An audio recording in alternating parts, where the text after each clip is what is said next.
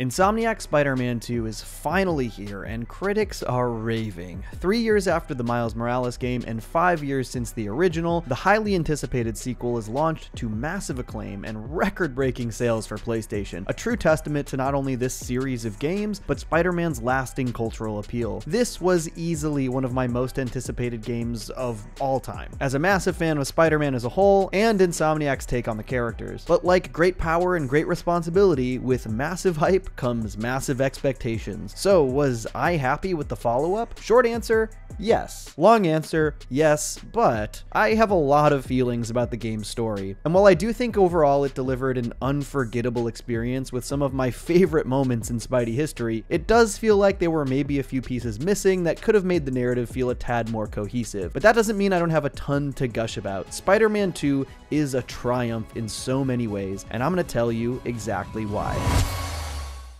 Hey, if you haven't seen them yet, make sure to check out my videos on Marvel's Spider-Man and Spider-Man Miles Morales before you watch this one. And if you're jonesing for more after that, swing through and check out my Spider-Man retrospectives on the various animated series or my videos on Spider-Verse. If you couldn't tell, I really love Spider-Man. Thanks. Also, just a heads up, this is primarily a dissection of Spider-Man 2's narrative, which means there are going to be spoilers throughout the entire video. So this is your last warning. All right, still here? Let's do it. During the production of Insomniac's first Spider-Man game, the question of including the symbiote suit as an unlockable costume was posed. And since Insomniac really seems to understand the most important aspects of Spidey's history, they rightfully held off and opted to save the inclusion of this suit for when the narrative demanded it. A really smart move if you ask me. It not only placed significance on its inclusion, period, but built hype for the future of the franchise with the fanbase's major anticipation for the symbiote saga. Insomniac was also smart enough to lay down a ton of groundwork in the first game and its spin-off. Harry has a presence in the first game throughout his research stations across New York, which neatly tie into his narrative in this game, and obviously the reveal about the true nature of his absence late in that narrative are key as well. But they also build really effectively from where the previous games left off. The aftermath of May's death, the growing pains for Peter and MJ's reformed relationship, Peter's job loss, Miles' continued grief after losing his father, and his struggles to maintain his hero slash life balance. Some of these things are handled really well, while some feel like they needed an extra plot point or two, but we'll get there eventually. One thing the game did exceptionally well was highlight the aforementioned struggle to balance heroism and life responsibilities. As they say, when Spider-Man wins, Peter loses, and the opening of this game just immediately dives back into that struggle. Peter has to abandon his first day teaching at Brooklyn Visions in order to go stop Sandman, a job he desperately needs after the events of the last game. Likewise, Miles ends up ditching a vitally important college prep meeting to stop Marko as well, but I absolutely cannot express how much joy I experienced in this opening sequence of the game despite the fact that it's essentially an extended tutorial, which now takes a tad longer given that they need to both intro gameplay for Peter and Miles. This entire battle represents so much that I've wanted to see from a Spidey story, and things I didn't even realize I wanted to see. I had no idea that Kaiju Sandman was something I really needed in a game this badly. Just an overwhelming threat to start the game off on an absolutely epic scale. Even cooler was swinging all the way from Brooklyn to Manhattan with that giant threat on the horizon. But what gave me just an endless dose of serotonin was seeing Miles and Peter as dueling Spideys fully realized. Two Spider-Men working together as partners, having to problem solve on the fly on the biggest scale, utilizing each other's strengths in real time. Obviously, there are still aspects of Peter mentoring Miles in this game, but that's a dynamic we've seen before. The full partnership between the pair hasn't really been seen in this way, and it just got me so stoked. Honestly, the aftermath of this battle was also something I really loved to see for very unexpected reasons. Sandman's tirade leaves lower Manhattan absolutely buried in sand, with buildings destroyed and people trapped, showcasing not just the Spideys helping the people who were trapped in the sandstorm, but firefighters and first responders as well. Not to be too dramatic, but I would be shocked if the imagery wasn't at least partially inspired by Ground Zero in the wake of 9-11, when this exact area of Manhattan was buried in debris. It's just nice to highlight non-superheroes doing their best to help in the aftermath of a disaster. Where the opening mission in the first game, the takedown of Wilson Fisk was actually the inciting incident that created the power vacuum in New York City, this game plays it a bit differently. Sandman's attack was actually a warning sign of what would be the major inciting incident for the game. If you need help, all you have to do is ask. You're the ones who are gonna need help when they come for you.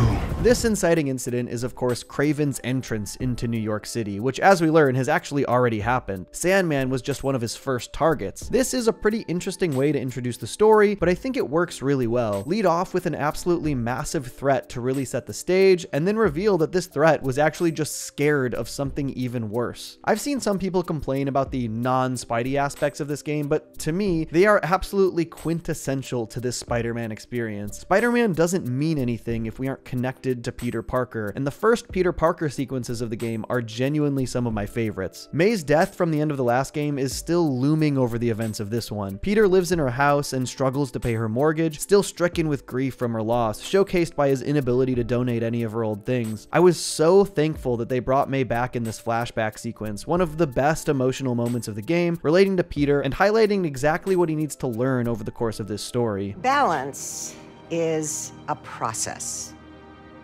not a destination. I'm still working on that. Oh, come on. But even more than the May scene, I loved Harry's proper introduction. Obviously, we really only got to infer info about Harry and Pete's relationship through his messages at the research stations and his letter explaining his illness later in the first game. As Spidey fans, we know Peter and Harry's friendship is important, but Insomniac didn't just rush past this important step for these versions of the characters, despite the fact that they're catching back up later in their lives. I was thinking we might roll like we used to. I cannot express how much I loved this Peter and Harry mission. Just riding bikes from May's house to Midtown High, shooting hoops, catching up, and reminiscing about their childhood together. These are the vitally important human moments that make Spider-Man stories matter. If these relationships don't mean anything to the audience, the Spider-Man stakes don't matter either. The best Spider-Man stories are also fundamentally Peter Parker stories, or Miles Morales stories. I don't care if these sequences aren't action-packed, experiencing these best friends reconnect not only warmed my heart, but went such a long way to establish why this friendship is important to this narrative. And that Shins' needle drop, I mean, come on. In the middle of this, we also get a flashback mission, showing some of the events in their high school days that made Pete and Harry such great friends, coinciding with the most affecting moment in Harry's life, the death of his mother. Not only his biggest loss, but the first realization that he may succumb to the same illness that she did. I love that Harry's research stations in the first game sort of telegraphed his more altruistic nature, inspired by his mother, attempting to utilize Oscorp's tech to actually help the world. It leads perfectly into the narrative here. I got a second chance. And I'm gonna take advantage of that. But I need you with me, Pete.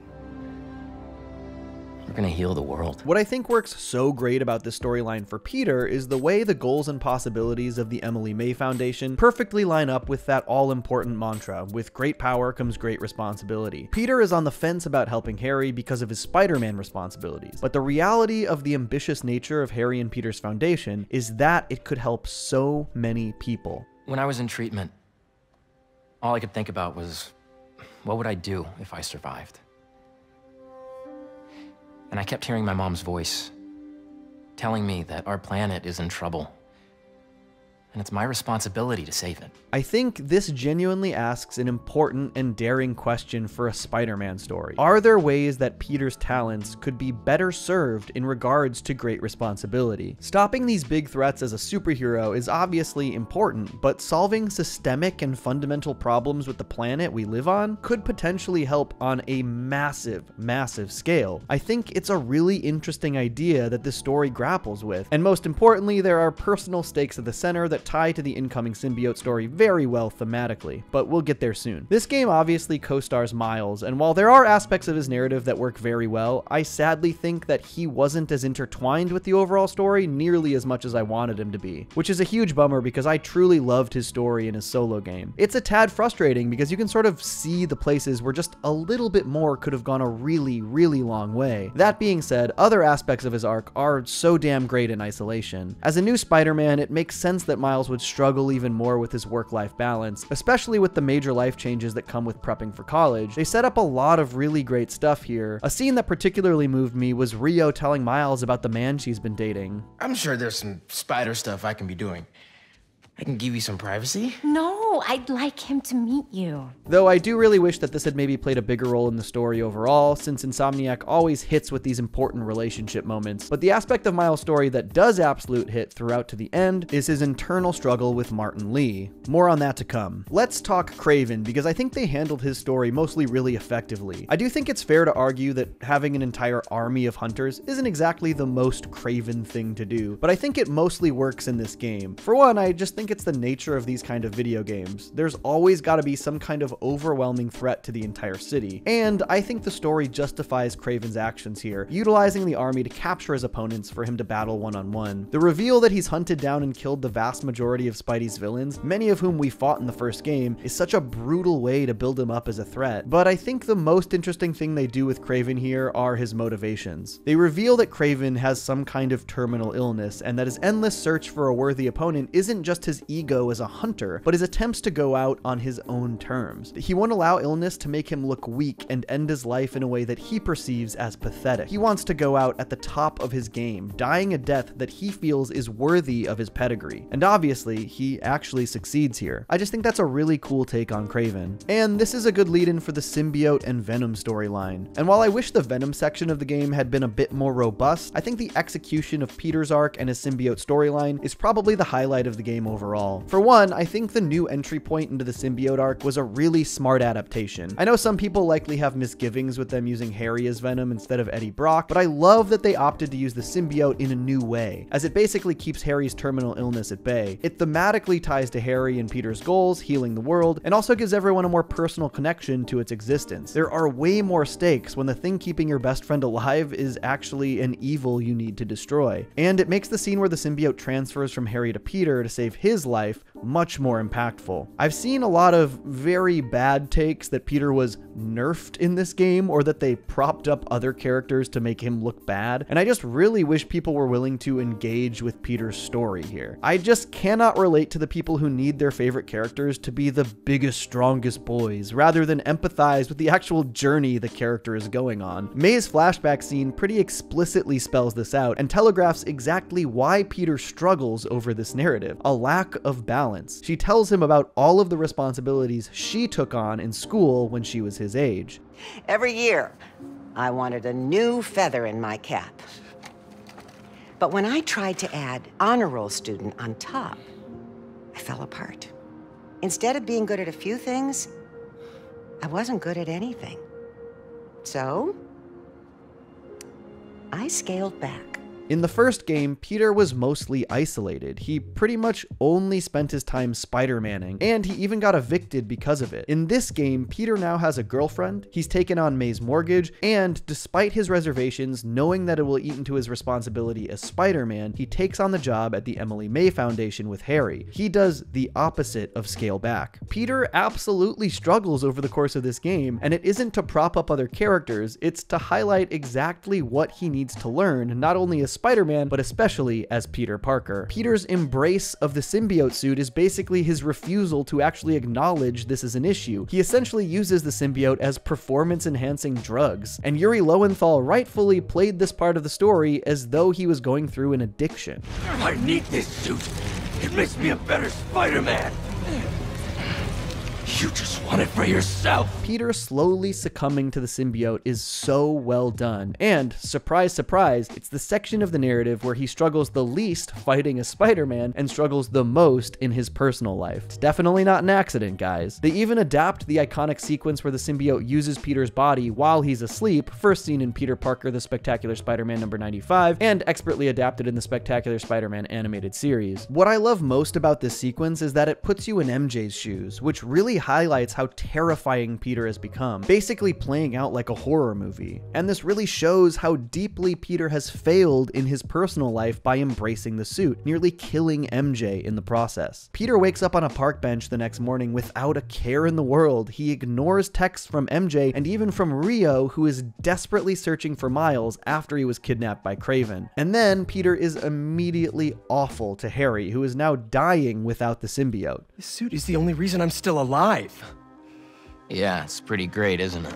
Why don't you pop some more pills and say what you're really feeling? Hey, Don't. Peter slowly losing himself as the suit takes over is so, so well handled. Easily one of my favorite aspects of the narrative, both in execution and how it ties to the story thematically. Sadly, despite really high highs, I think the symbiote story loses a bit of steam after the introduction of Venom. But that's such a key aspect of the climax, let's talk about some other villains first. This game does an unbelievable job implementing so many iconic villains and side characters into the gameplay and narrative. Obviously, the opening tutorial kaiju fight with Sandman is incredible, but that's just how the game opens. There is a massive multi-part chase and fight with the Lizard. The implementation of Curt Connors into the story was really well handled. There's clearly a history with Spidey, but he's been given a second chance, trying to help Harry and Norman reel in the symbiote as a treatment for Harry's condition. I particularly loved how we saw the more familiar Lizard design from the comics, more humanoid with the lab coat, before he further mutated into his massive monster, thanks to Kraven's interference. A really cool video gamey way to escalate the threat without ignoring the character's history. All of these sequences also went a long way to help sell Peter succumbing to the symbiote's influence, as taking down a literal dinosaur isn't exactly the easiest task. One of the highlights of the game is a mission and fight sequence involving Miles, Felicia, and a wand that can create portals, heisted from the Sanctum Sanctorum. For one, on a technical and visual level, this is just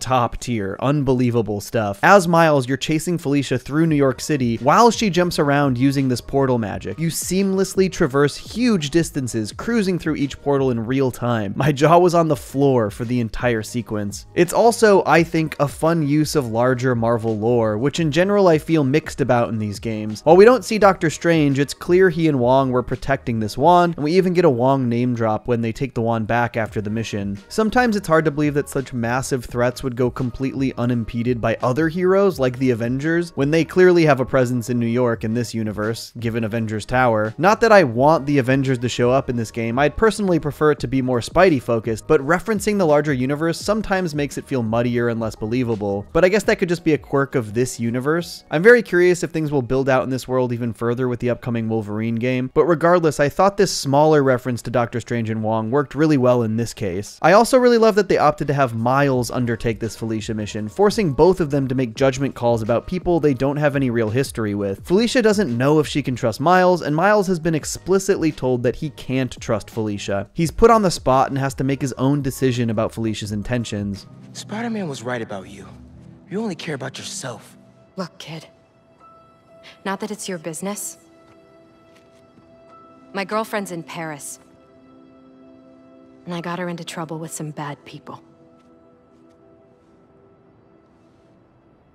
Have you ever done something for love? This is such a great Spider-Man moment for Miles. While Miles has really come into his own as Spidey over these three games, he still looks to Peter and MJ for advice, especially going into a situation like this one, with an adversary he's unfamiliar with. So to be told explicitly not to trust Felicia, but then to make his own decision in the heat of the moment, one that prioritizes the well-being of others, perfectly Spider-Man. These are important steps for Miles as he grows as a hero, and while I still have some issues with how Miles was implemented into the story overall, there are some clear exceptions, particularly as mentioned before with his Martin Li arc. This entire story is played so, so beautifully, with Miles unexpectedly seeing Li as he's being transferred and leading to a story-long struggle with his feelings of vengeance. I've seen some people question the story point, and I honestly just have to question that media literacy, as though seeing the man responsible for his father's death face to face wouldn't be deeply traumatizing, especially when it wasn't expected and ends with that man's escape. The Miles and Li plot points are some of the highlights of the game, with Kraven even forcing the pair to fight each other in a gladiator-like arena after he kidnaps both of them. A really wild setup for a great boss fight, ending with Miles once again making a heroic decision and showing that he's working towards rejecting the feelings of vengeance that he's been struggling with.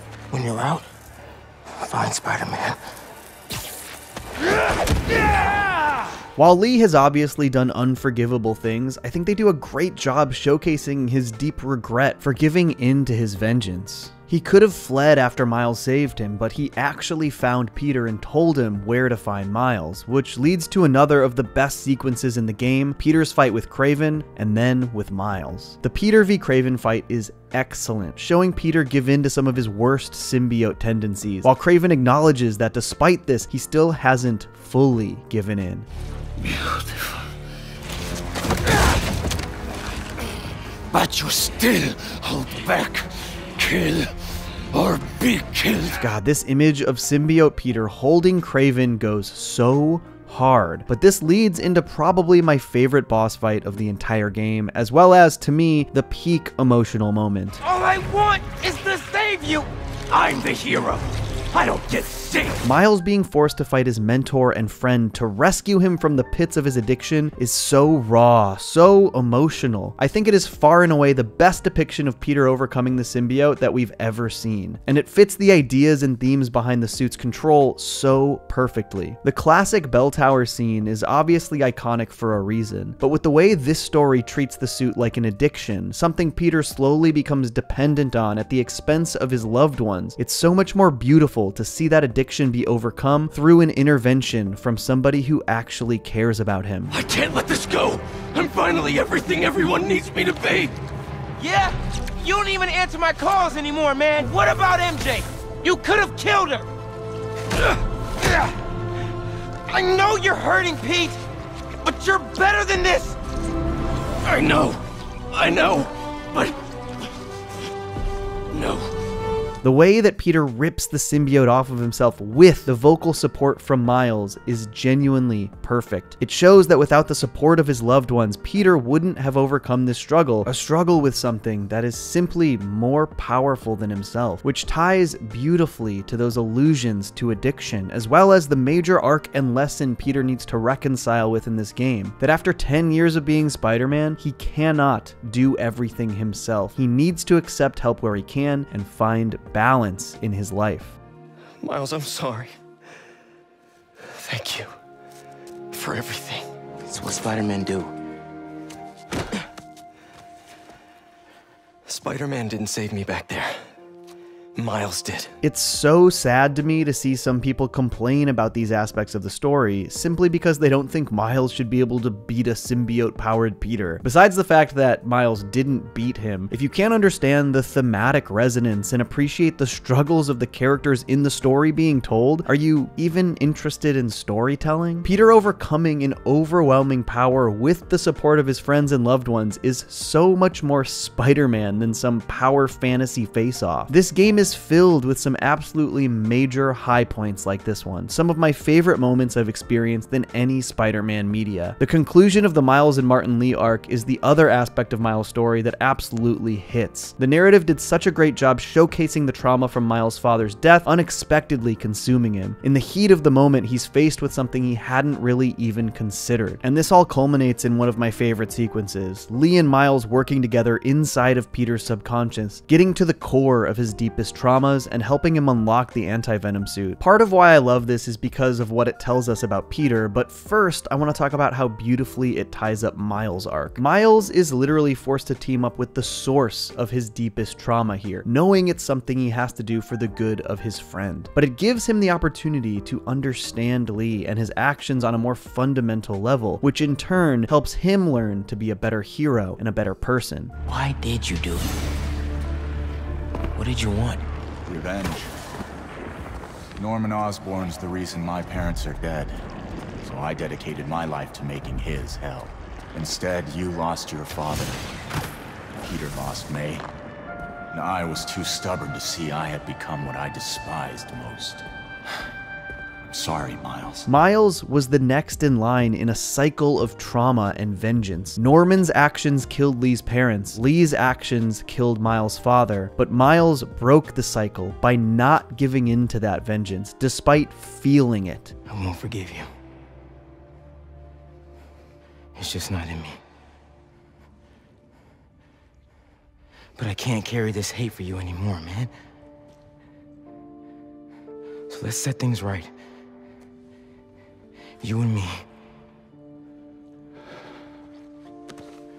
Miles proved himself to be a real hero by acknowledging the pain and hurt Li inflicted on him, refusing to forgive him, but still pushing forward and being the better man, moving on and breaking that cycle. It's a great arc for the character, and it also once again brings everything back to Norman Osborn. Everything in Insomniac's Spider Man universe can be traced back to Norman Osborn. Unfortunately, these are the best examples of Miles being properly intertwined with Peter's narrative in this game. I love his involvement in helping Peter remove the symbiote suit and his arc in the Martin Li saga, but probably my biggest issue with the game as a whole is that Miles feels separated from the narrative a lot of the time, which is a big missed opportunity, and it prevents the ending beats from feeling as satisfying as they could have. But in order to properly analyze all of that, we've got to go over the remainder of the Venom arc. I think the fact that Insomniac found a new in for the symbiote story is wildly impressive. Obviously, the key aspects are still there. It's a living being from space that fuses with its host, but the idea that the symbiotic abilities are being harnessed to heal Harry's illness is so, so effective in this story. I was a tad concerned when they announced that Venom would be someone it hasn't been in the comics, but in execution, I think it mostly worked great. For one, we get a truly, genuinely loving friendship between Peter and Harry here, probably the most wholesome we've ever seen them, which really adds to the emotional stakes. Not just the stakes of trying to rescue Harry after he's fused with the suit and become Venom, but the stakes while you're wearing the symbiote as Peter, knowing that Harry is succumbing to his illness without the symbiote's aid, and the sad realization that it is far too dangerous to actually give the symbiote back to Harry. I saved your life!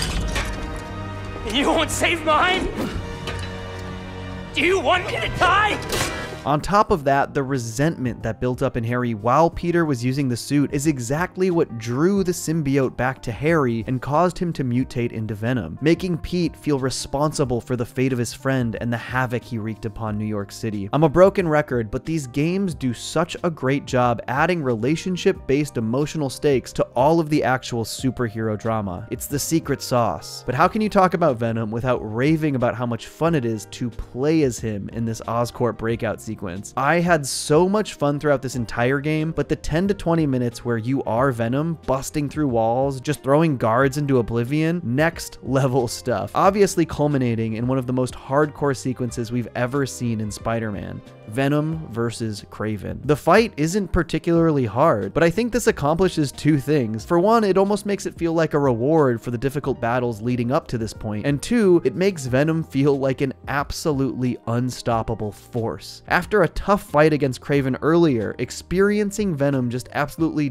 decimate Kraven really makes you wonder how the hell you're ever going to stop Venom himself as Spider-Man. I don't think I need to say much about the decapitation scene, just an absolutely unreal real moment in Spidey history. I lost my mind. I also really love the idea that Harry's wants and desires are fully meshing with the symbiotes, but the symbiote is still using Harry. The scene after where he goes to his mother's grave is excellent. What did I just do?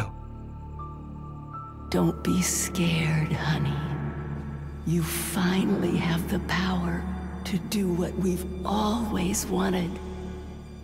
We're going to heal the world. This manipulation from the symbiote slash Venom works really well here. By using the symbiote as a device that has literally healed Harry of his illness, and then combining that with his desire to do right by his mother and heal the world, you've got a pretty ingenious reframing of a symbiote takeover of Earth. The symbiote wanting to consume the world and add it to the hive mind, and Harry wanting to rid the world of its illnesses and issues. All that being said, I think a lot of the stretch of the game from Venom's introduction through to the final battle leaves leaves a bit to be desired. There are still a ton of great moments in isolation. This is where we get the wrap up of Miles and Martin Li's arc, which I already raved about. Plus, there's an incredible boss battle against MJ as Scream. But as a whole, it feels a bit undercooked. As a spectacle, Peter vs. MJ's Scream is next level. The Scream design is amazing, and the fight is a ton of fun, but I think they missed the mark laying the groundwork for the relationship struggles at its core. As with many great Insomniac Spidey conflicts, the relationship at the center is key. During the fight,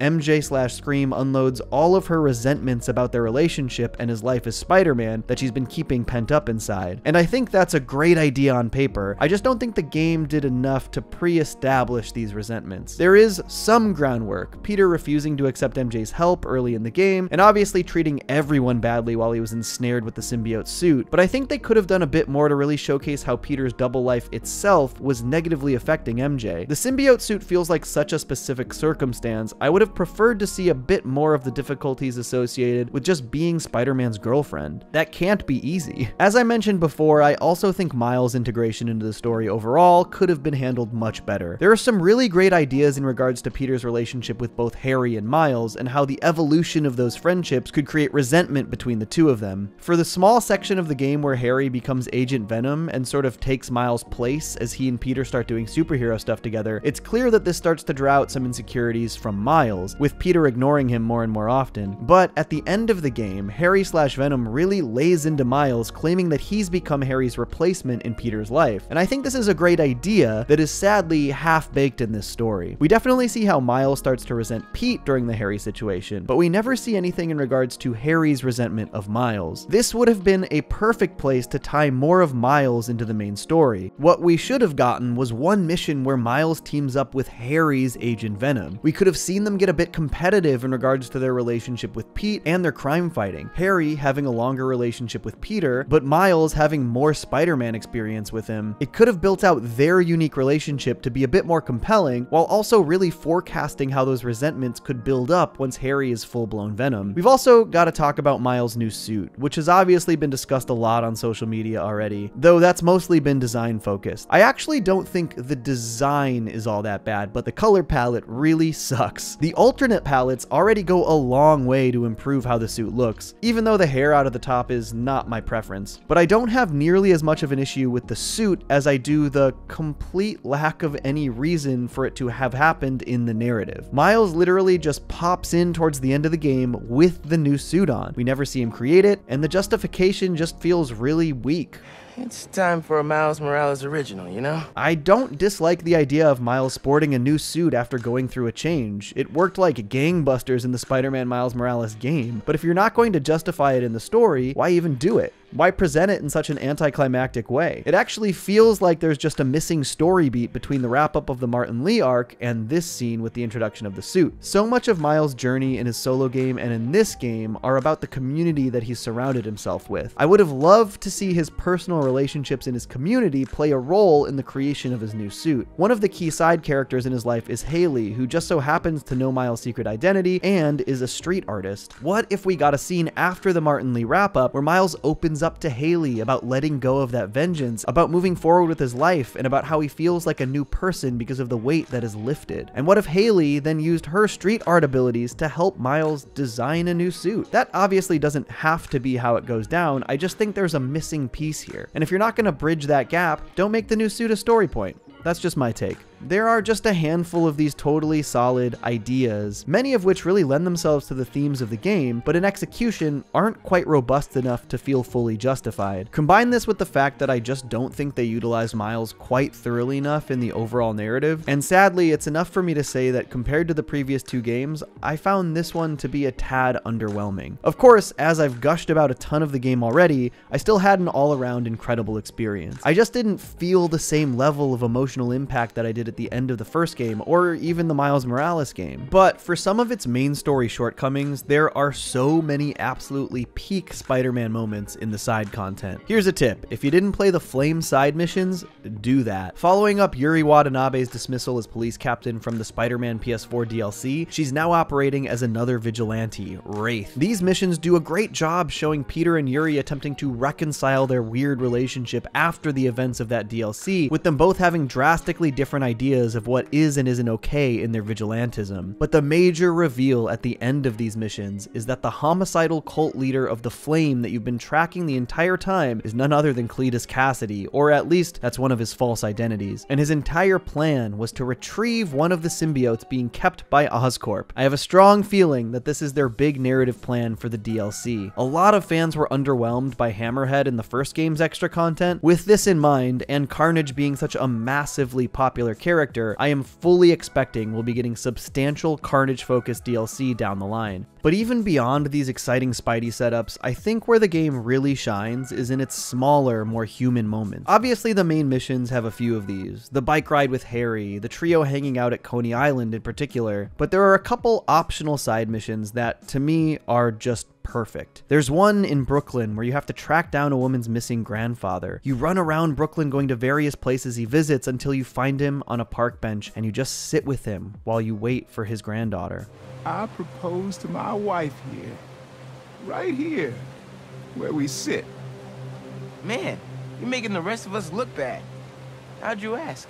These moments of human connection are what makes Spider Man a friendly neighborhood Spider Man. The connection to the people he saves is so vital to that Spider Man experience, and I think this is actually something they continued from the Miles Morales spin off and fully improved upon from the first Spider Man game, where sometimes the missions could start to feel a bit too much like you're just a spider cop. A genuine focus on the people that Spider Man helps. But there isn't any better example than the Howard side mission. You might remember Howard in the first game is the guy you had to collect pigeons for. A bit of a tedious collectathon, but over the course of that mission, you learn about Howard and that he watches over the pigeons in honor of his dead wife. This time, Howard asks you to find a place for those pigeons to relocate, but not before you sit with him while he just observes the beauty that the city has to offer, looking out over the water, reflecting on his life.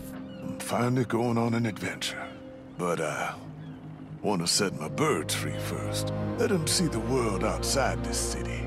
NYC is the best place in the world for pigeons, Can you though. take them up north for me? Somewhere peaceful? But they need you, Howard. It's their time. As you escort the birds to their new home, the vibes are just genuinely immaculate. Needle dropping the song Seabird by the Alessi brothers. I cannot describe the emotions I felt just flying across the river helping these birds find their new home. I've never experienced anything like it in a video game, and as I'm sure many figured out, this was Howard's goodbye, his last act to watch over those birds and do right by them. He's on a new adventure now. And his wife's with him. I don't think Spider Man 2 is a perfect game, but in its best moments, it is truly, truly special. And even though I think the story could have been a bit more cohesive overall, I also think that it still really hits in its biggest emotional moments. The final battle with Venom is mostly really great. I particularly loved that the first part takes place at Midtown High, where you became friends with Harry, and the second takes place at the Emily May Foundation, where they reconnected in their desire to help the world. I do wish that the second half of this fight had been a tag team effort with Miles, mostly because this is where the lack of substance in the Harry slash Miles relationship was really showcased. Putting Peter back in the picture would add more of the emotional stakes. However, when the big emotional moments between Peter and Harry arrived, they hit. Let's heal the world, Pete. Together. Peter was intent on not losing someone else, not after May, but Peter doesn't get to choose. I love you.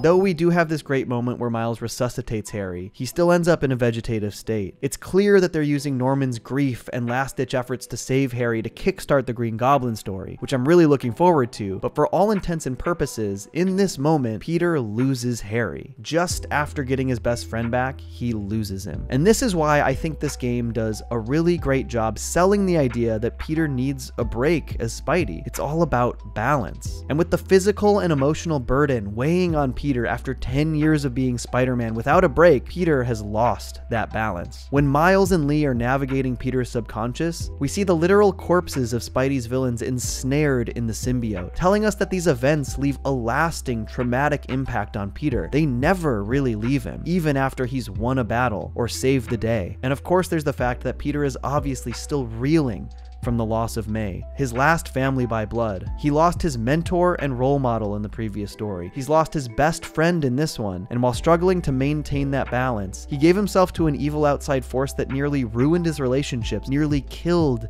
MJ, the love of his life. By taking a Spidey hiatus, Peter can reform the Emily May Foundation. He can use his other great power to take up great responsibility, help people on a more systemic and foundational level. And with Miles capable and willing to take up that mantle of Spider-Man, giving the city the hope that Peter knows it needs. Peter can enter this new chapter knowing the world is in good hands. Not just because the city still has Spider-Man, but because of the work he can do without that obligation that will also help change the world. Peter found his balance. And no, I don't think that means he's done being Spider Man. Because as we know, there's still one final chapter to come. And with the tease of Cindy Moon's Silk, the prospect of Green Goblin entering the picture, and even of Doc Ock returning, there are so many more Spidey stories to tell. And I cannot wait to see them. Johnny I stay mellow watching Johnny Two Cellos. He talks cartoons, he's a really cool fellow. He keeps you posted on adult cartoons. If that's what you're into, then grab a spoon and a very big bowl of your favorite cereal. Feels like Saturday morning cartoon material. Johnny Two Cellos, watch him on YouTube. Now enjoy this groove and bust a move.